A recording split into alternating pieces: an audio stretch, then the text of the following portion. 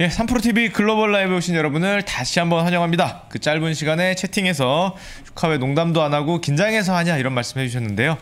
어, 제 개인 채널에서는 그 유머 채널이지만 우리 3프로TV는 전문, 전문 주식 그 완벽한 경제 채널 아니겠습니까? 우리나라 1등 채널이기 때문에 농담 없이 웃음기 빼고 확실한 정보를 알려드리려고 노력을 하겠습니다. 자, 오늘 2부에서는 하나금융투자 우리 중국 주식 전문가시죠. 김경환 팀장님 나와 계십니다. 팀장님 안녕하세요. 안녕하십니까.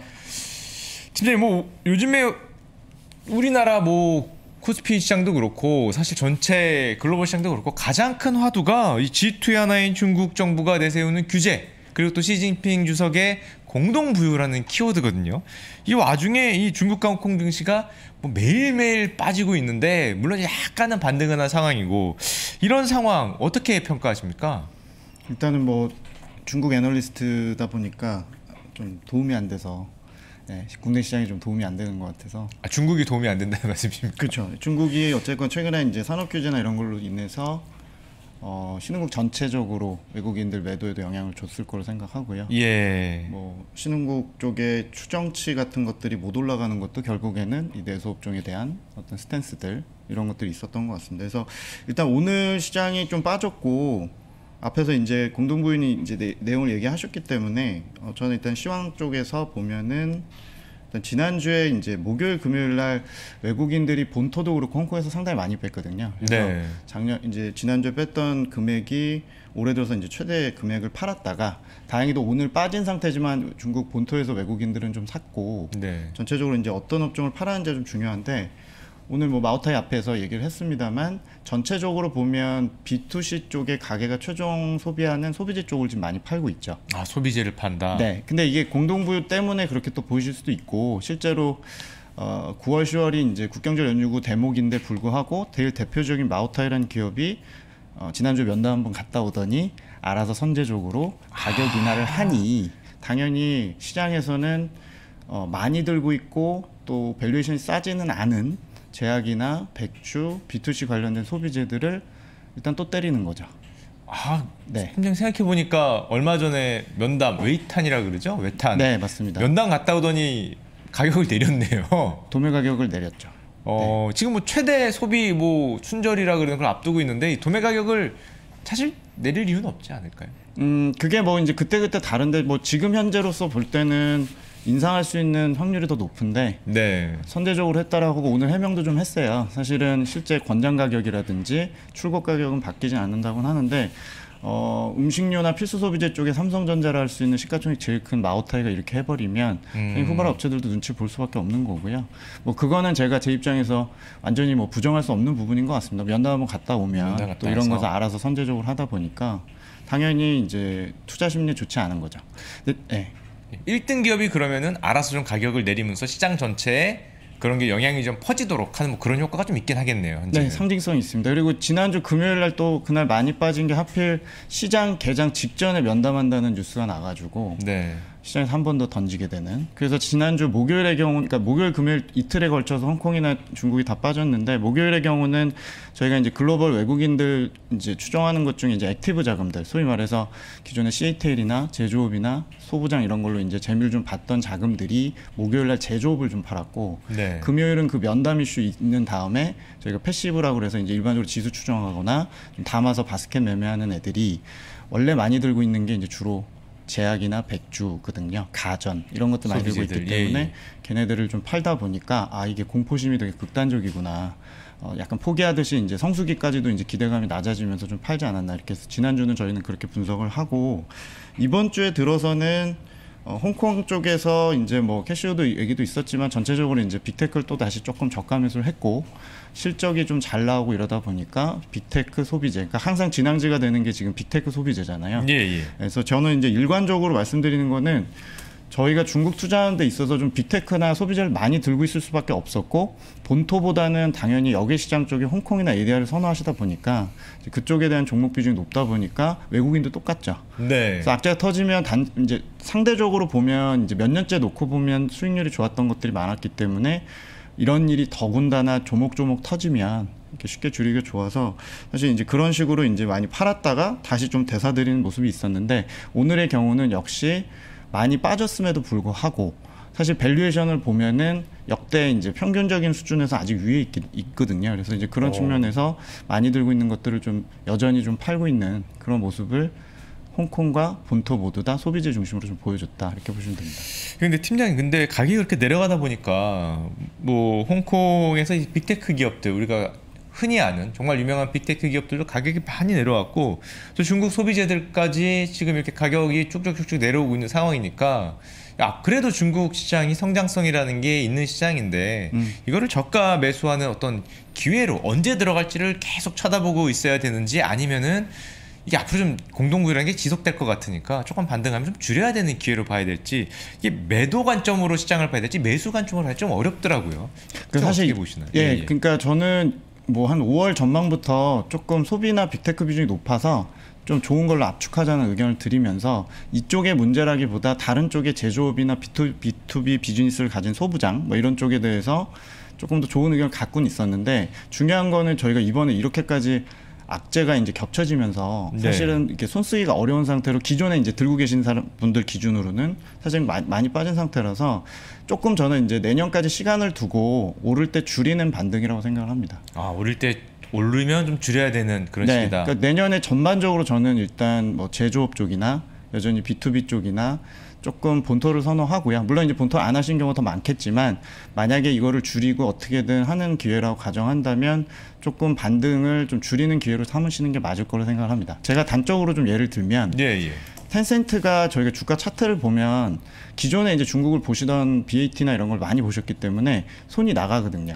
사실은. 근데 이제 텐센트가 지난 5년 평균 기준으로 PER 기준으로는 최저까지 와 있습니다. 네. 그래서 사실 저평가됐다고 볼 수 있는데 저희가 이제 뭐 PEG라고 그래서 이제 성장주나 기술주 볼 때 이제 많이 또 쓰는 것들이 PEG, 그러니까 이- EPS 자체의 그로스로 이제 보는 것들을 보면은 사상 최고까지 올라가 있거든요. 그러니까 이건 뭐냐면 정책의 공포로 인해서 애널리스트 사람이다 보니까 이익 전망치나 이런 이익 그로스 자체에 대해서 훼손이 지금 된 상태인 거죠. 아. 그럼 성장주나 기술주가 성장성이 훼손이 되면 과연 지금 PER을 보고 싸다고 할 거냐? PBR 저희 은행주나 부동산 이런 걸 보듯이 PBR로 봐서 싸다고 한 구간이라고 그래서 손이 바로 갈 거냐? 공격적으로 갈 거냐? 아니면 PG를 바라봤을 때 이 이크로스가 도와진 좋아지는 것들 좀 확인하거나 새로운 사업 모델이 보여지거나 뭔가 이 가시성이 보여지거나 정책 공포가 좀 없어졌을 때 이제 추정치가 올라가잖아요.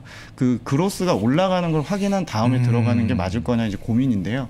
저는 개인적으로 추가적으로 주가가 이렇게 급락하는 상황이 이렇게 빈발하진 않을 거로 생각은 하고 있는데 그래도 최대한 오를 때는 좀 줄이시는 게 맞다고 보고 지금 저점 매수 좀 공격적으로 하는 단계는 아직 아니라고 생각을 하고 있습니다. 예. 아 그러고 보니까 우리가 흔히 PER로 보면은 분명히 좀 저가다, 좀 싸다, 저가 매수를 할 만한데 앞으로 이익 전망치 자체가, 자체가 사실은 훼손이 된다면 성장 능력이 떨어진다고 생각을 한다면 그렇죠. 이익 성장성 그렇죠. 같은 것들. 지금이 그렇게 또 싸지도 않을 수도 있겠네요. 네, 만약에 맞습니다. 그렇게 된다면. 네.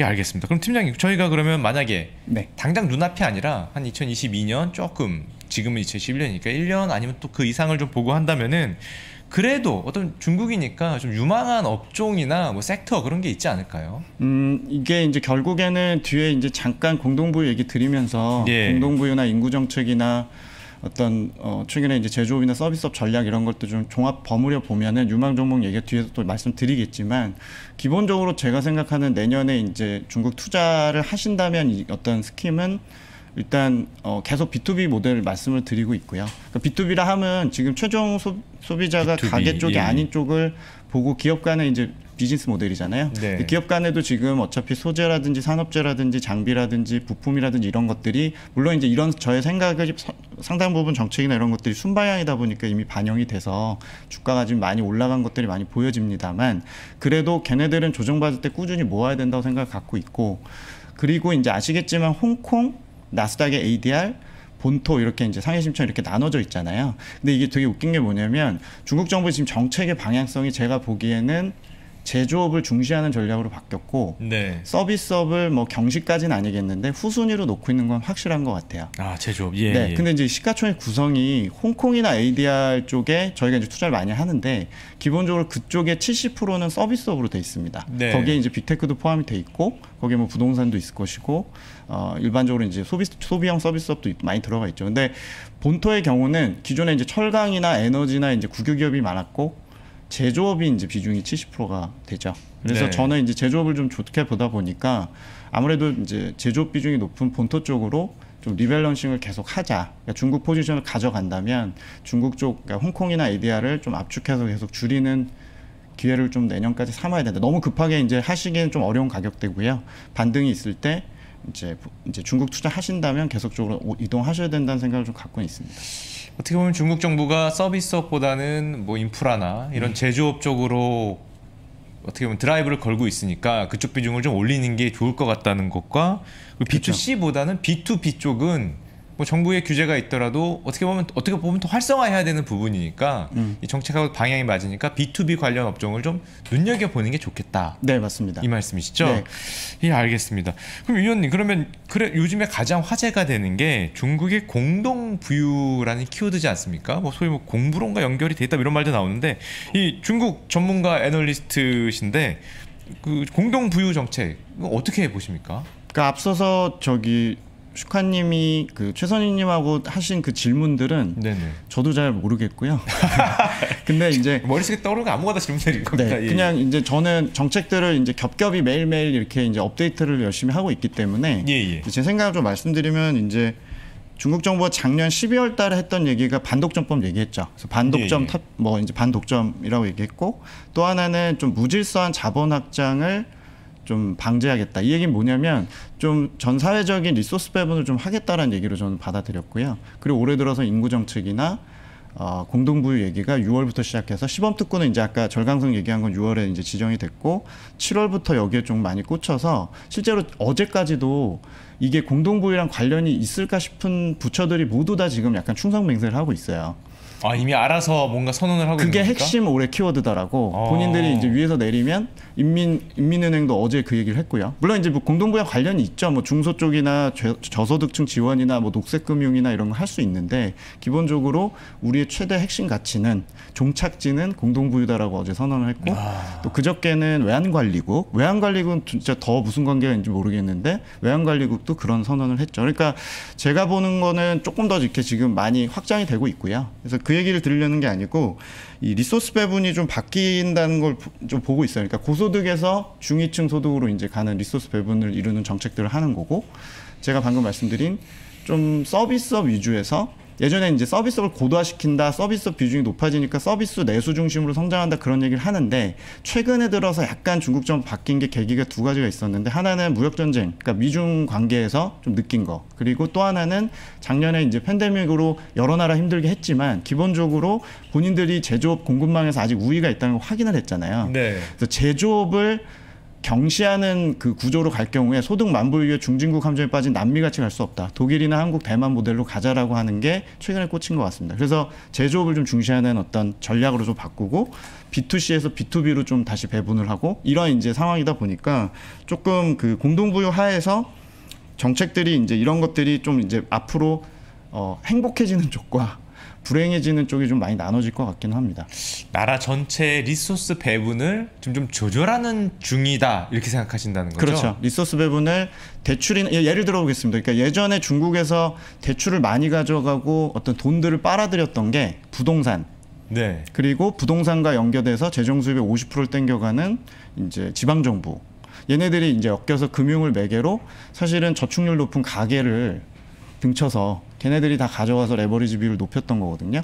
최근에 이제 뒤에서 부동산 얘기를 제가 좀 시간이 되면 말씀드릴 건데 부동산 규제나 지방 정부 규제를 하는 이유가 가계랑 연결고리를 이제 차단시키는 거거든요. 네. 근데 이 의지가 그냥 사이클 측면이 아니라 아주 강합니다. 그래서 이제 더 이상 그쪽으로 배분되는 걸 견딜 수 없다. 차라리 혁신 기업이나 아까 최선님 얘기한 뭐 소거인 같은 중소 small cap 기업들 키워서 이쪽으로 돈 가게 한다. 그리고 뭐 저소득층에게 돈 가게 한다. 이런 이제 배분 측면도 되는 거고요. 또 자연스럽게 그러다 보면은 조금 더 제조업 쪽에 쏠릴 가능성이 있는 거고 서비스 쪽은 혁신과는 조금 무관하다고 보는 쪽의 경우는 철, 철저하게 이제 배분을 좀 줄인다든지 예, 형태 약간의 이제 좀 어려운 문제지만 그런 리소스 배분을 좀 철저하게 하려는 스탠스로 좀 파악을 하고 있습니다. 가게가 힘들게 저축한 돈을 그런 곳들이 쉽게 가져다가 레버리지를 활용해서 어디에 투자를 해서 가격이 올라서 거기가 더 부자가 되고 이런 거를 강하게 끊겠다라고 제가 이해가 되는데 그렇죠. 소수의 이제 부가 됐던 거죠. 저희 뭐 예. 빠르때 일어날 때 뭐 상위 80, 20%가 80% 가져가고 뭐 이런 얘기 하는데 사실은 중국은 저도 중국에 한 10년 살았지만 부동산 시장이 정식으로 지금 우리나라처럼 이렇게 거래된 게 98년밖에 98년에 시작했기 때문에 네. 역사 되게 짧아요. 근데 중국에서 지금 돈 번 분들은 지금이야 big tech로 이제 다음 단계로 간 거지만 사실 1차적으로 번 분들은 다 부동산 때문에 벌었거든요. 예. 그래서 이분들이 이제 뭐 뺏겼다 이런 개념이 아니라 기본적으로 그쪽으로 갔던 resource들이 그 주체가 됐던 developer나 지방 정부가 그걸로 많이 해 먹었고 나머지 그걸로 이제 부를 한 사람들이 있기 때문에 아까 이제 부동산세 얘기도 하셨지만 중국 부동산세가 없었거든요. 어. 종부세 개념이 없습니다. 그래서 예. capital gain에 대해서도 이제 좀 때리겠다는 개념으로 가는 것 같고요. 그래서 그런 배분들이 피해자와 수혜자를 이제 명확하게 나누지 않겠느냐 이렇게 생각을 하고 있습니다. 그러면은 뭐 누가 생각하더라도 부동산 쪽에 규제가 좀 강력하게 있을 것 같다라는 느낌이 오는데 최근에 중국 경제는 부동산 규제가 가장 무섭다 이런 자료를 내셨는데 부동산 규제 어떻게 나올까요? 그러니까 이제 주가는 최근에 산업 규제 많이 흔들리는데 이게 산업 규제는 개별 결국엔 이제 개별 주가 쪽에 이제 맞춰질 텐데 네. 부동산의 경우는 최근에 옥죄는 수준이 제가 이제 중국을 계속 오랫동안 본 일에 가장 강력하다. 그리고 가장 특징적으로 지금 바뀌고 있다라고 좀 보여지고요. 부동산의 경우는 중국 경제가 되게 힘들어질 수 있는 이슈가 되거든요. 그러니까 최근에 뭐 장기 금리가 빠지고 소비가 좀 안 살아나고 이런 문제들이 있는데 장기적으로 이 강도의 부동산 규제가 지속이 되면 상당히 좀 침체 위험이나 좀 불황 위험을 키울 수 있다는 게 이제 제가 좀 더 긴 그림에서 중국을 좀 이렇게 조금 리스크 측면에서 보자라는 의견을 이제 썼던 거고요. 이거와 이제 파생되는 얘기들을 조금 드리려고 합니다. 그러니까 부동산이 최근에 이제 보면은 어, 중국 정부가 이제 공동부유 얘기하면서 중산층이 힘들어하는 게 뭐야? 그러면 주거 부담, 양육 부담, 그렇죠. 양로 부담, 네. 의료 부담 이런 거잖아요. 예, 예. 지출 부담 낮춰줘야 되잖아요. 그래서 최근에 이제 그 화두가 됐던 뭐 거의 비영리화 시키듯이 사교육 규제를 하고 어, 뭐 마이너스 90% 나고 네. 그리고 예, 최근에 예. 제약 주도가 많이 빠진 것도 사실상 결국에는 어, 단가에 대해서 못 올릴 수 있다는 부분들, 뭐 의료보험 이제 의무화하면서 그 약가에 대해서 청지할 수도 있다는 부분, 또 의료 쪽이나 이런 것들도 비슷한 거죠. 근데 제가 보기에 이런 강도고 이런 의지면 어, 지금도 하고 있지만 다음 단계는 부동산일 가능성이 굉장히 높죠. 부동산이다. 네, 근데 우리가 중국 사교육에서 봤듯이 규제가 정말 세게 나오던데 네, 부동산에 대해서도 그렇게 강력한 사실은 부동산 너무 크니까 네. 잘못 타격을 입히면 이 사교육 업체들 타격하고는 좀 비교가 안 될 그런 어떤 영향을 줄 수 있을 것 같은데 그쵸. 강, 강력한 정책이 나올 수 있을까요? 그러니까 일단은 일차적으로 부동산은 어 어떻게 보면 중국은 지금 구조 자체가 부동산 반석 위에 섰다고 봐도 되는 거거든요. 그러니까 지난 20년 동안 중국의 성장 모델이 수출하고 부동산 양축이었습니다. 부동산의 경우는 어 그냥 시간 관계상 짧게 말씀드리면 어 관련되는 게 되게 많거든요. 그러니까 지금 예를 들면 지방 정부가 중국의 인프라 투자의 거의 80%를 지출을 담당을 하는데 지방 정부 재정 수입의 50%는 다 부동산 분양 시장에서 오거든요. 토지를 팔거나 네. 파는 건 아니고 이제 반영구 임대를 하는 쪽에서 재정 수입도 거기서 가져가고 기본적으로 내구재 시장이나 건설이나 이런 쪽의 비중이 워낙 크기 때문에 과거만큼은 아니지만 부동산의 최종 성기가 이제 2016년에 지나긴 했지만 여전히 임팩트가 큽니다. 그래서 주가님 지적하신 대로 상당한 이제 경제 쪽에 임팩트를 줄 수밖에 없고 그래서 최근에 이제 중국 정부가 규제를 하는 쪽에 이제 방식이 뭐냐면 과거와 달라진 점이 이제 두 가지가 있는데요. 하나는 일단은 디벨로퍼로 알려진 부동산 개발상들을 엄청나게 쪼고 있습니다. 일단 그러니까 비영리화 시키는 그런 문제는 아니고요. 네네. 기본적으로 주체의 핵심이 얘네들이 다 리소스를 가져갔었다. 그리고 얘네가 위험하다. 그래서 일단은 경제나 금융시장 시스템 관점에서 구조 조정이 들어간 거죠. 그래서 최근에 돈줄을 끊는 걸 보면은 정말 작년 8월부터 시작을 해서 은행이나 이런 쪽에서 거의 차단하다시피 그리고 부동산 개발업자들한테 돈이 못 가게 대출 네. 못 가게 끊는다. 네네. 예. 그리고 채권 발행이나 이런 쪽이 굉장히 지금 어려워지고 있고요. 그래서 그들이 최근에 신규 착공이나 건설 데이터나 이런 것들이 5월 이후부터 굉장히 빠르게 망가지고 있습니다. 근데 오히려 그런 개발업자들이 공급을 줄여버리면 네. 가격이 더 올라가는 거 아닌가요? 일단은 중국 정부 생각은 집중도가 너무 낮다고 생각을 하는 것 같아요. 그러니까 너무 난립해 있고 어. 너무 좀비화된 그런 디벨로퍼들이 너무 많기 때문에 그쪽으로 한없이 들어가는 거는 이제 그냥 말 그대로 이제 구멍난 독에다가 물 붓는 거고요. 그래서 중국 정부 입장에서는 일차적으로는 구조 조정을 좀 시도하면서 말씀하신 대로 공급을 늘려야 이제 부동산 가격이 잡히는 거니까 네. 현재로서는 리소스 배분 측면에서 일단은 이제 먹개비처럼 먹고 있는 디벨로퍼들한테는 돈은 일단 원천 봉쇄. 그리고 이 돈을 주게 되는 건 결국에 분양 시장을 통해서 가계의 부채가 쌓이는 거잖아요. 예, 예. 이제 우리나라도 10년째 가계 부채 얘기하고 있는데 중국의 경우는 가장 그래도 부채 비율이 낮은 쪽이 가계고 부채 비율이 제일 높은 쪽은 기업 쪽이나 이쪽에서 디벨로퍼와 지방 정부거든요. 네. 이 연결고리를 최대한 차단을 좀 시키겠다는 게 일차적인 목표인 것 같습니다. 그래서 공급자에 대해서 좀 쪼고 있다는 게 강도가 거의 뭐 25년밖에 안 된 역사지만 가장 강하다. 이게 첫 번째 특징이고 두 번째는 당연히 분양 시장도 지금 건드리고 있어요. 수요 쪽도 건드리고는 있는데 요새 하고 있는 정책이 뭐냐면 2016년 이후부터 니네 지방 정부가 알아서 알아서 시책을 써라. 한 성당 한 정책이 있다라고 표현을 하면서 알아서 이제 정책을 쓰라고 하고 있는데 이게 이제 그때 그때마다 메시지 이해가 지방 정부가 달라요. 그러니까 예를 들어 중앙 정부가 지금 같은 분위기라면 과잉 충성을 하고 있는 거죠.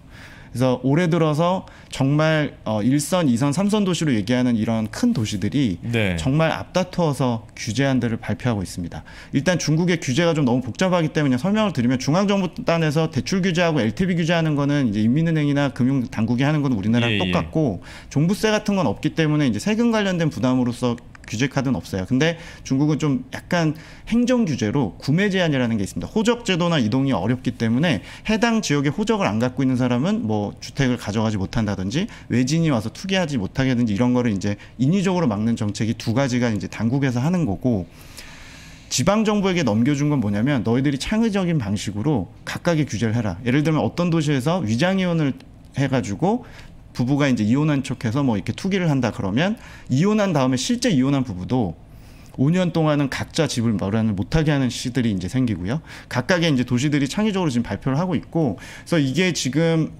올해 들어서 일선에서 삼선 도시 한 200개 정도 대도시 안에 있는 도시 중에서 한 75%가 지금 규제를 하고 있습니다. 불과 이게 작년 연말에는 13%밖에 안 됐거든요. 예. 그래서 대부분의 도시가 이제 규제 추세로 가고 있어서 7월부터 분양 시장이 엄청나게 냉각이 지금 되기 시작을 했고요. 네. 그래서 주택 거래라든지 이런 것들이 급감을 하기 시작을 하면서 이제 제가 걱정하는 건 뭐냐면 이렇게 흘러가면 여전히 좀 상승률을 유지하고 있는 이제 부동산 가격이 최후에 예. 조정이 혹시 오는 부분을 정말 모니터링을 해야 된다. 이거는 주식 투자의 문제가 아니고 이제 국내 관점에서도 금융 리스크로 보실 수 있기 때문에 예, 쉽- 쉬운 문제는 아니지만 가격 조정 가능성까지도 연결해서 보셔야 된다는 게 이번 자료에 약간의 이제 좀 상위에 올려놓고 좀 보시라는 측면에서 좀 쓴 이유죠.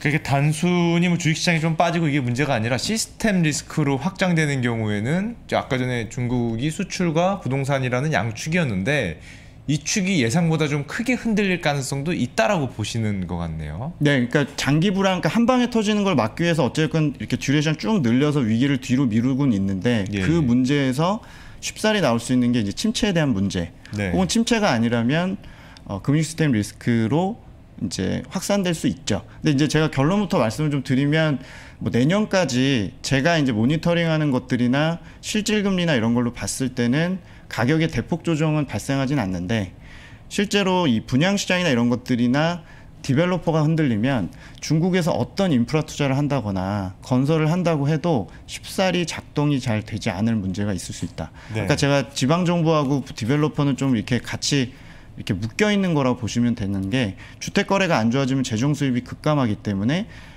원래도 돈이 없는 지방 정부가 인프라 투자를 아무리 한다 그러고 기지국을 아무리 짓는다고 해도 사실은 그게 잘 안 나올 수 있거든요. 그래서 지방 정부의 이제 투자가 좀 일차적으로 올해는 어, 연말까지 좀 영향을 계속 받을 걸로 생각을 갖고 있고 두 번째는 항상 이제 저희 기관 투자자도 걱정하시는 것 중에 하나가 디벨로퍼들이 찍은 채권들이 이제 디폴트가 나거나 파산하는 문제를 걱정을 어, 항상 하시죠. 그쵸, 예. 예, 걔네들이 지금 먼저 쪼고 있으니까. 근데 실제로 저는 내년에 파산이 많이 날 거로 생각을 합니다. 근데 이제 다행인 거는 이 업계가 저도 탐방 많이 가봤지만 굉장히 집중도가 낮아서 아무리 큰 top 뭐 넘버원 기업이라고 해도 MS가 뭐 2% 3%. 그 지역별로 특색이 다 달라서 제가 깜짝 놀란 게 만, 만난 developer들이 대부분 찍는 채권 금리가 천차만별이에요. 어떤 애들은 국채처럼 2, 3%에 찍고 어떤 애들은 10% 찍고 이러거든요. 그래서 제가 이제 말씀드리고 싶은 거는 홍콩에 가서 역외에서 달러채 발행한 developer들이 되게 많아요. 네. 최근 한 3, 4년 동안 되게 많았는데 거기까지 내몰릴 정도라는 거는 그리고 그들이 찍은 채권의 이제 레벨을 보시면 9에서 11% 금리 막 찍고 어, 있는 거예요. 높네요. 네. 예, 예. 그래서 그들이 찍은 채권의 그 만기가 내년과 내후년에 되게 많이 몰려 있어서 어, 조금 음, 위험하게 봐야 된다. 그리고 관련해서 그쪽의 노이즈에 대해서 저희가 조금 대비를 해야 된다라고 좀 생각을 갖고 있습니다.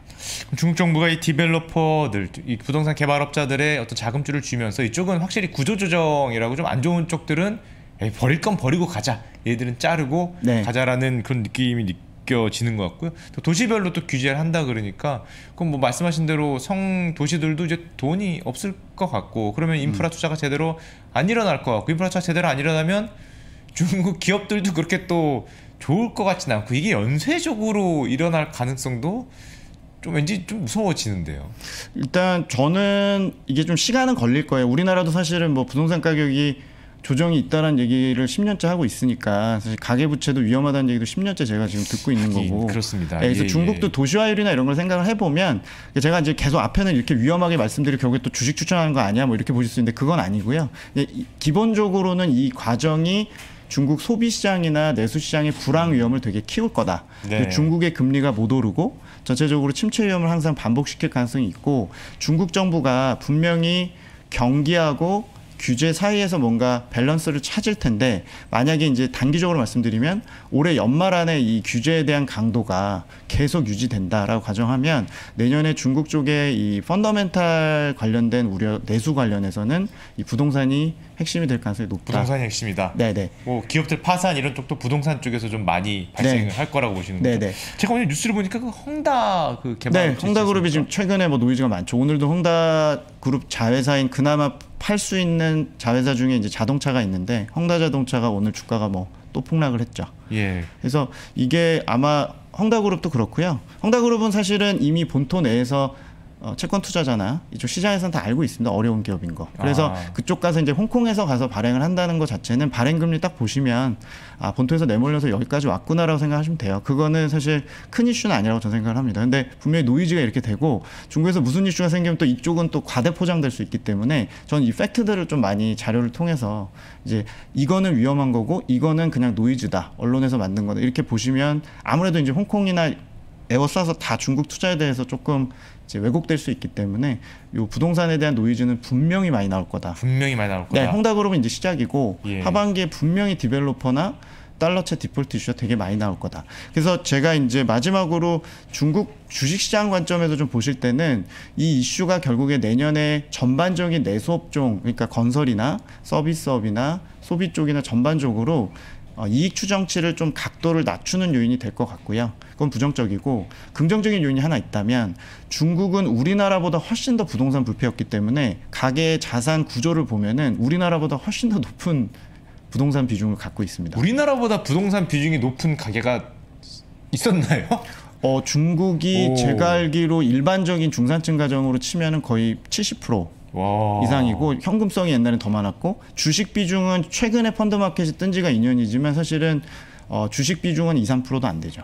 그래서 제가 이제 최근에 주택 거래하고 중국 그, 예, 그 증권 예탁 그러니까 주식 거래 같은 걸 보면 완전히 거울처럼 거꾸로 가거든요. 네. 그래서 주택 거래나 분양 시장에 이제 수익률이 훼손이 되면 전반적으로 주식으로 너무 주식을 안 하고 있기 때문에 중국도 이게 이제 올라올 가능성이 좀 높다. 그래서 그쪽은 수급 쪽에선 중국에선 좋게 보는 시각이 있고요. 반면에 이 내수업종이나 전체적으로 봤을 때 경기가 좀 안살아난 리스크를 안고 있기 때문에 공동부여 연결해서 다음 단계로 보실 땐 꼭 부동산을 보셔야 된다 이렇게 생각을 갖고 있습니다. 전체적으로 뭐 EPS 같은 게 내려갈 테니까 증시에는 이렇게 좋지 않을 것 같긴 한데 워낙에 자금이 부동산에 많이 쏠려 있는 중국이다 보니까 그래도 증시를 조금 오지 않을까 하는 기대감이 좀 있다는 말씀이시죠? 네, 실제로 최근에 펀드 마켓은 되게 좋습니다. 물론 아. 들어와서 주가가 오르는 건 아닌데 펀드 마켓이 없다가 생겼고 이게 원래 탈 부동산 자금들이 진짜 많이 오고 있거든요. 그래서 이제 그런 쪽에선 좋은데 이게 소수 업종이나 이쪽에 과열을 또 야기할지 전체적으로 시장이 좋을지는 좀 시간이 걸릴 것 같고 전반적으로 좀 그런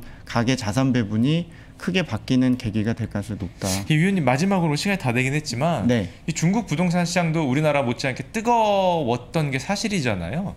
이런 공동부유라는 키워드를 통해서 이 부동산 쪽 규제가 굉장히 강하게 쏠린다면은 중국 부동산 시장이 단기적으로라도 조금 조정을 받을 거다라고 생각을 해야 될까요? 네, 이미 조정은 시작된 것 같고 그게 건설 아. 투자 완공 신규, 착공 이제 건설 쪽부터 이미 들어왔고 이 분양 시장도 지금 현재 들어온 상태이기 때문에 내려가는 이제 하단에 대해서 저희가 내년 상반기까지 정책 강도까지 해서 이제 좀 봐야 되는 상황이고요. 현 기조라면 만약 중국 내수가 안 살아난다면 부동산일 가능성이 매우 높습니다. 아 부동산이 원인일 가능성이 굉장히 높다. 네.